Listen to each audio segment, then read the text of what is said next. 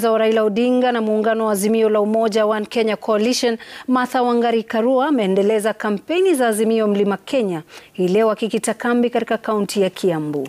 Karua akiwataka wenyeji wa Kiambu kumuunga mkono Raila Odinga akisema kwamba mabadiliko kamili yatapatikana chini ya uongozi wa serikali ya Azimio iwapo watachaguliwa. Naam, Karua alimpigia debe Raila kama mtu anayethamini akina mama pamoja na kuwa kiongozi anayetimiza ahadi zake. Mama Martha Karua akionekana mwenye nguvu mpya. Martha Wangari Karua aliongoza kampeni za Azimio la Umoja katika kaunti ya Kiambu.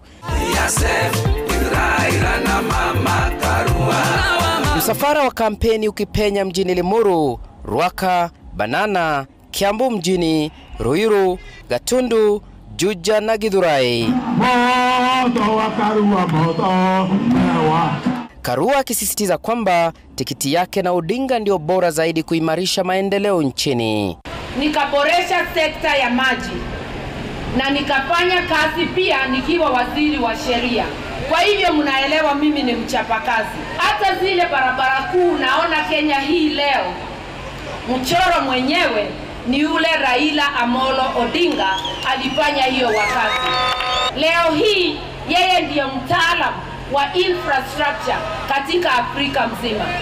Wapinzani wetu waulize zile nafasi wamekuwa nazo kwa serikali, sifa gani wakapata hata kwa kijiji?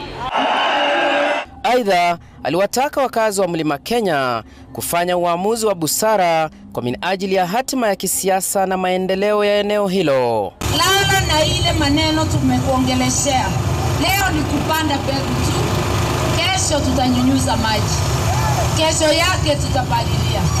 Tutaendelea kuja mpaka tusikizane zote, tuone watu wa Mlima Kenya tutaweka kura kwa kikapu moja, tuwe kwa serikali ya Azimio. Nyinyi ni werevu, mnaweza kuamua ni wapi mtapeleka kura.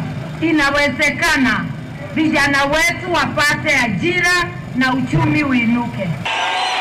Akiandamana na waziri wa kilimo Peter Munya na viongozi wengine kutoka Mlima Kenya, ujumbe wao ulikuwa kwamba Raila na Karua ndio watakaoweza kupambana na ufisadi ambao umekita mizizi nchini, ukiwasababishia Wakenya mahangaiko mengi kiuchumi. wakiwa kwenye ofisi ni uporaji, wakiwa nje ni mazungumzo ya mdomo tu, hakuna vitendo.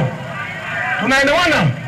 Kwa hivyo baba na mama watusaidie, tutafute serikali, vijana wapate kazi, akina mama wapate maslahi yao. Viongozi hao waliwarai wakazi wa Mlima Kenya kuunga mkono muungano wa Azimio katika uchaguzi mkuu wa Agosti 9 wakisema kwamba wana matumaini ya ushindi. Naomba tunawasihi wewe, angalia udadisi wa siasa uone mahali tunaelekea. Pengine pale mbeleni ilikuwa tofauti. Sasa serikali ambayo ni ya kesho ni ya Raila Amolo Odinga. The contest in the mountain is between two people. Between Mother Wagare Karoa, who has worked for our people for the last 30 years, against a guy who is one person in parliament. Kwa siku ya tano mfululizo, mgombea mwenza wa Raila Odinga Martha Karua amekita kambi katika eneo hili la Mlima Kenya, hususan kaunti ya Kiambu, huku akiahidi kujaza kapu la Azimio na kura kutoka Mlima Kenya. Steve Shitera, runinga ya Citizen, Githurai.